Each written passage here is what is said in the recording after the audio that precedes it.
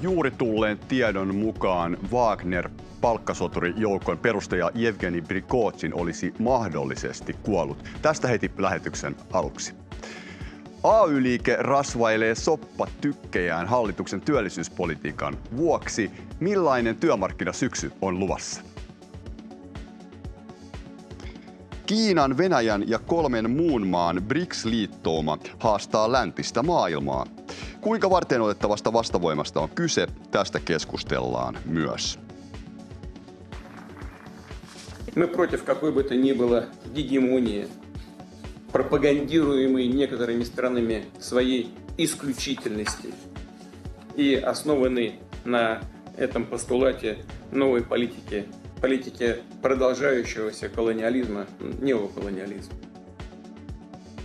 Tervetuloa A-studioon.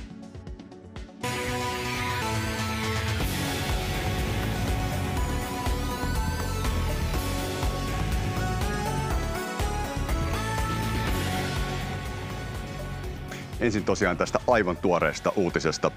Wagner palkkasoturijoukon perustajan Jevgeni Prigozhinin on uutisoitu mahdollisesti kuolleen. Ja tässä itse asiassa nähdään nyt kuvaa koneen putoamisesta. Venäjä-osaaja apulaisprofessori Rinna Kullaa, miten kommentoit tätä aivan tuoretta uutista?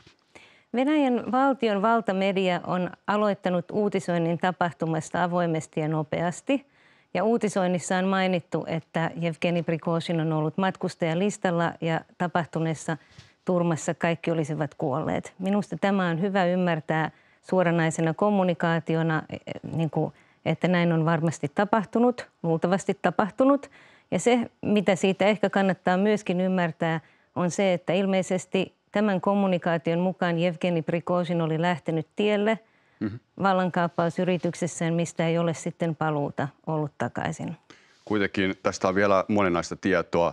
Juuri tämän Wagner palkkasotorijoukon Telegram-viestissä sanotaan, että Prigozhin olisikin ollut toisessa koneessa. Mitä Joo. tähän sanot? Tietenkin vaikea tässä kommentoida mitään mm. sen pitemmälle menevää. Mutta... Kaikki on mahdollista, mutta merkityksellistä minun mielestäni tässä on se, että Venäjän valtion valtamedia kommentoi tätä niin laajasti ja suoranaisesti.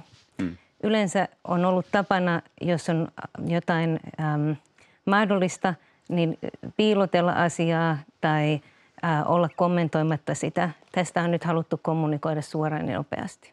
No jos Prigozhin on nyt kuollut, tämä kesäkuinen kapina ja moni ennusti jo silloin Putinin kostavan Prigozhinne jollain tavalla, niin voiko tämä olla nyt se kosto? Voi. Olet sitä mieltä? Joo. No miten, jos näin on, niin kuinka tämä vaikuttaa Putinin asemaan? Merkityksellistä ensinnäkin tästä on havaita minun mielestä se, että Venäjän valtaeliitti on melkein kaikki siihen kuuluvat jäsenet ovat Pietarista ja ovat tunteneet toisensa hyvin pitkän aikaan. Ja Prigozhin kuului tähän valtaeliittiin Pietarista ja nyt yksi heistä on sitten poistunut.